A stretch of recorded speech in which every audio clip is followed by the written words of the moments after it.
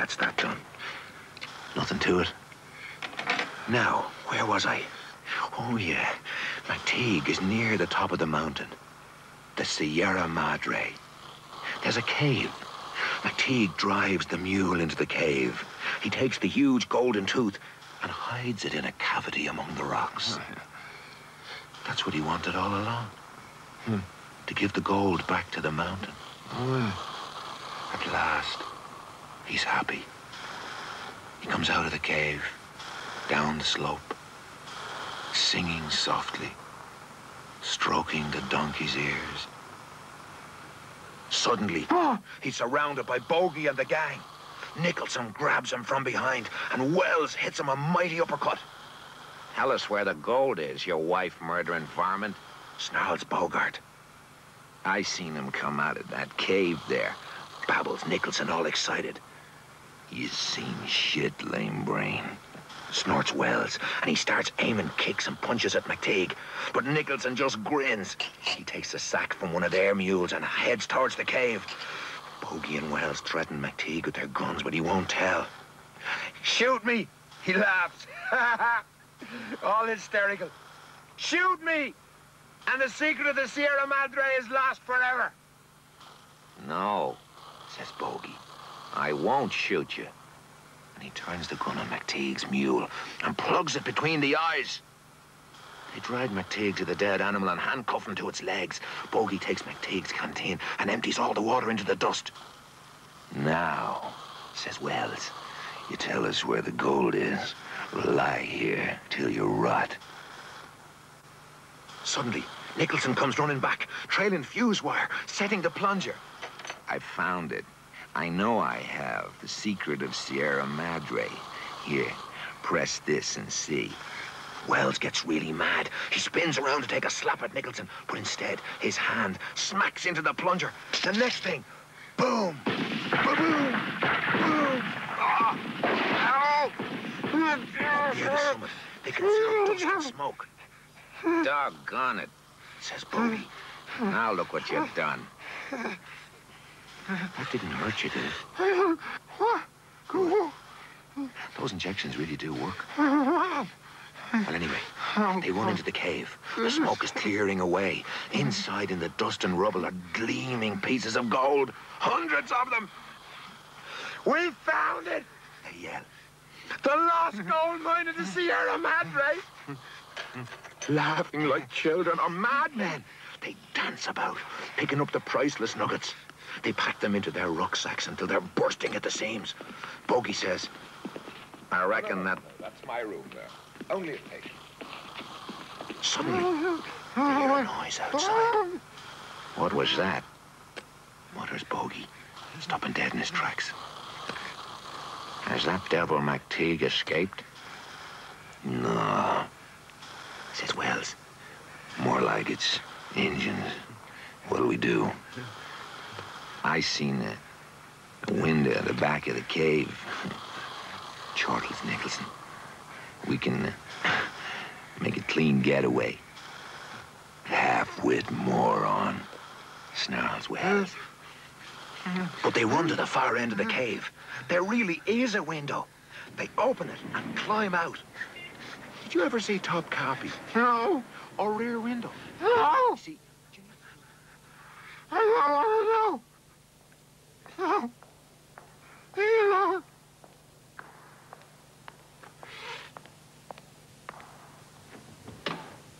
Well, well, here we are again. Who would have thought that would take so long? now, where were we? Ah, yes, finding that blessed chart. Hmm, now, it was the police, you know, searching for an escapee from the asylum. A Schizophrenic kleptomaniac, they said. Sounds like an interesting case. Oh, let's forget about that wretched chart, shall we? Good God, mister. What a shocking state your teeth are in. Have you never been to a dentist? No, no. Really appalling. I just want to do something. Well, there's a place in dental history for anyone who can save this lot. Now, hold still. This is not going to hurt. Oh, mm, Now, did never realize how awful you look? Well, think of the damage you are doing to your general state of health. Hmm, some people never learn. Why, only the other day, I heard of a man, not a patient of mine, you understand, who had, by all accounts, a case of dental neglect almost equal to yours. But he would not be treated. He persisted in a childish belief that visits to a dentist were not only painful, but positively dangerous. Feel anything there? No. More there? No. His friends had advised him, his wife had begged. No. I say, calm yourself, my good man. The situation is by no means hopeless. We, we can make excellent dentures, you know. Now, you, you, you really must relax. Nurse? Nurse? Don't! Don't, my, my good man! You'll only make a bad situation worse. Then get medical assistance, psychiatric help. Who is your doctor? Now, now you must... Oh, my God! Ah! Look what you've done to my hand! I'm maimed! Maimed, you filthy bastard! My pulling hand!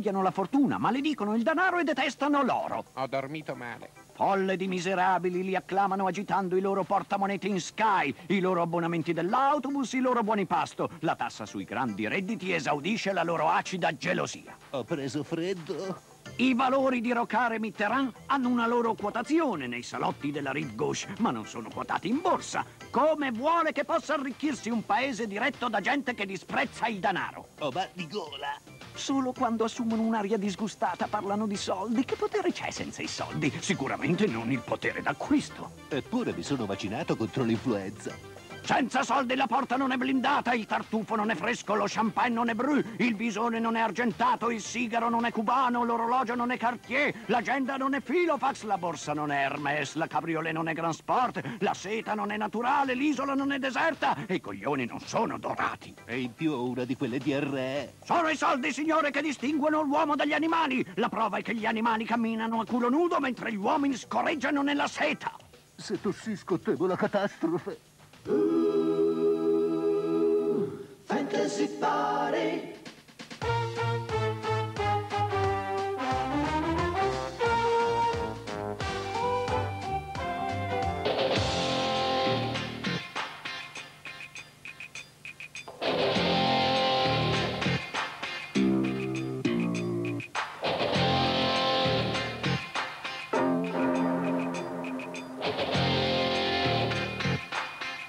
Una volta scoperto il trucco di far muovere gli oggetti senza i fili o altri espedienti teatrali, ma bensì con la ripresa a passo uno, la fantasia dei cineasti dei primi anni del secolo si scatenò senza freni.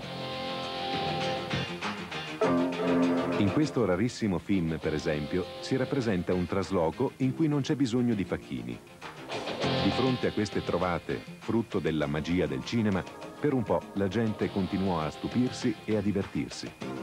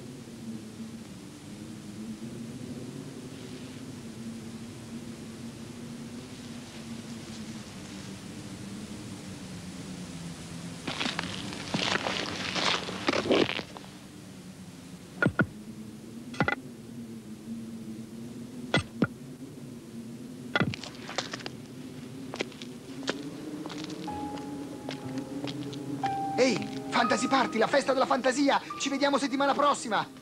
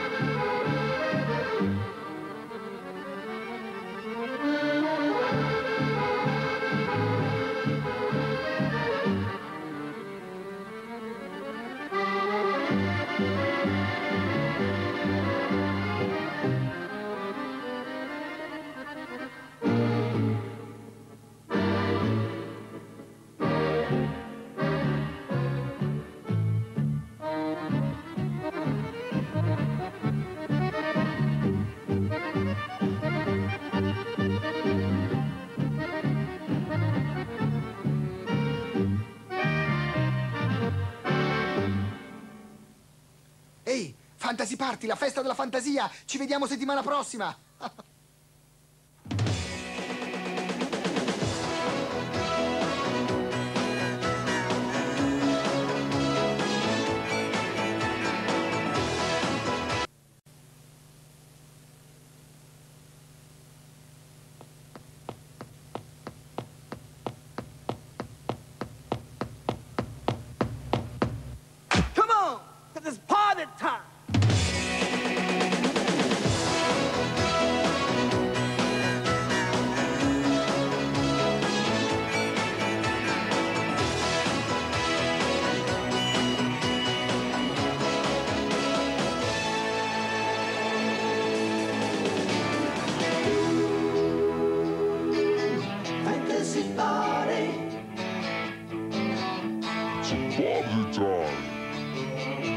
It, it, it, it's a party time.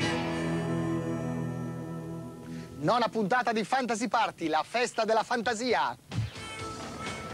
Ani Jam, il primo film di questa sera, è un titolo che si potrebbe tradurre marmellata d'animazione, è un film assolutamente particolare perché è stato fatto non da uno ma da 20 animatori, 20 autori d'animazione che hanno collaborato alla stessa idea. Qual è questa idea? Un'idea che si potrebbe far risalire alla catena di Sant'Antonio. Eh, No, per favore, per favore, stiamo fermi qui intorno. Non si può spiegare una cosa così complicata con tutta questa confusione. Stiamo fermi.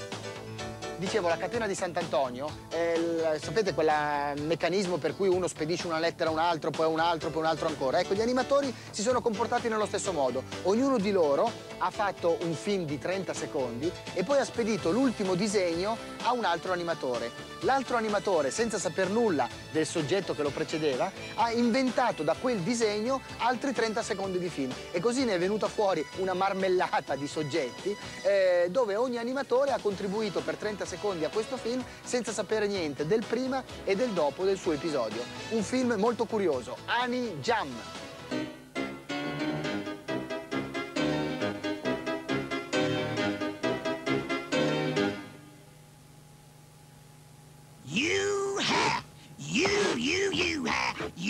Wake up shaking like a dog, ha! On a cold, frosty morning, ha! You, ha! Can't drive a Cadillac! Down the streets of hell,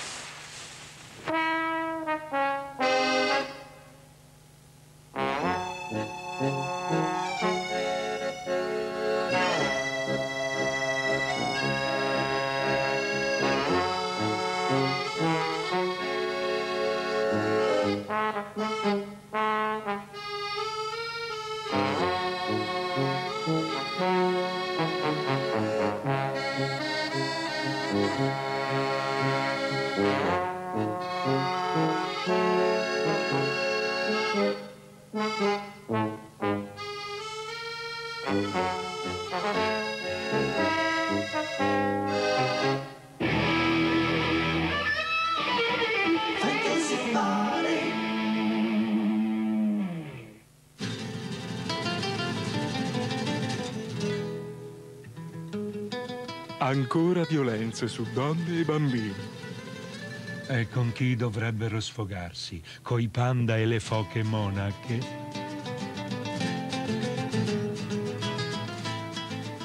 Non capisco perché lei paghi per mangiare una schifezza simile. Perché se no tu resti senza lavoro e vieni a rapinarmi in casa.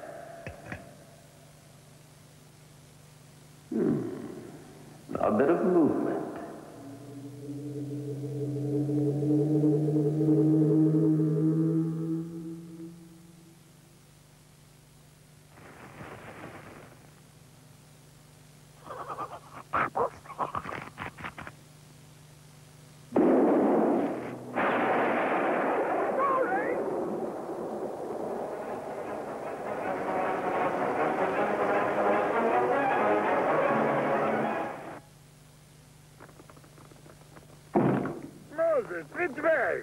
That way. That way? No, no, this way. This way? No,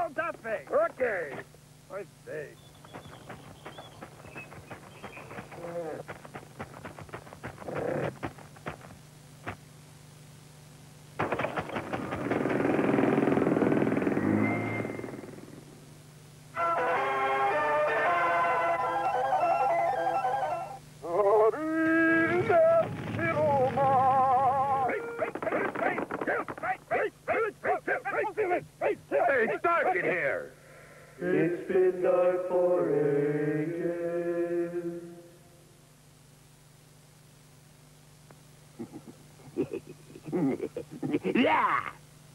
Grow up, Lenny. Look, it's a blue wall. Soldier! Don't shoot till you see the whites of their eyes. Come on, stand up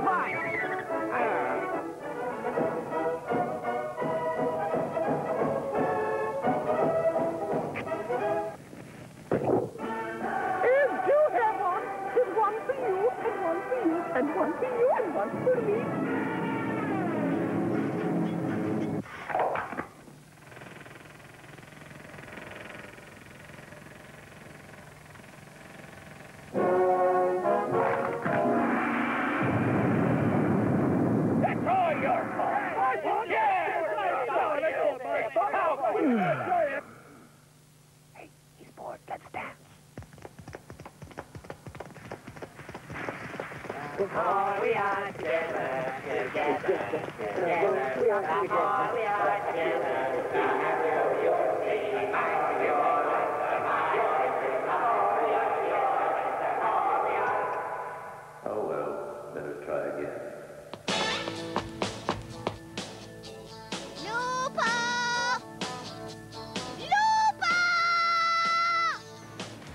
Film d'animazione in Italia è in movimento.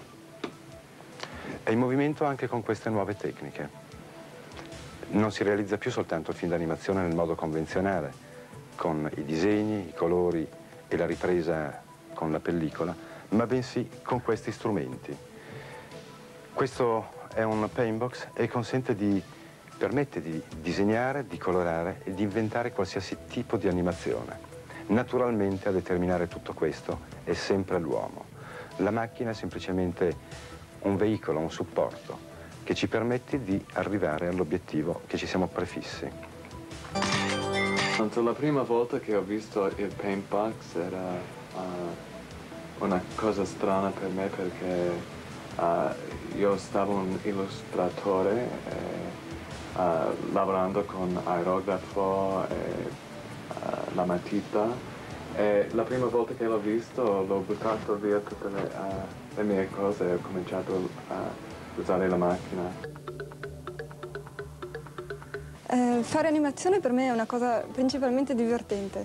Eh, farla sul- eh, al computer è forse da un certo punto di vista ancora più divertente che farla su carta perché ti evita una serie di stress legati al, al fatto che devi cercare le matite sparse sul tavolo, eh, che i pennarelli che stai cercando eh, magari sono finiti, si sono consumati, eh, hai finito i fogli bucati, devi farteli bucare, eccetera, eccetera. Invece sul computer hai, hai tutto a disposizione sempre, non si consuma mai niente. I, i colori, che sono poi 16 milioni, puoi averli, averli eh, sempre a tua disposizione in qualsiasi momento lavori. Fare animazione al computer, tutto sommato, non è altro che fare animazione eh, tradizionale su uno strumento non tradizionale.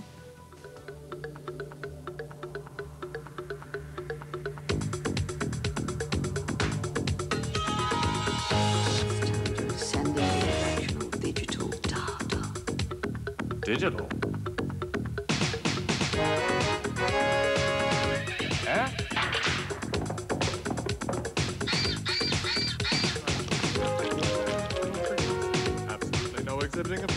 when insufficient quantity. Levels of floppy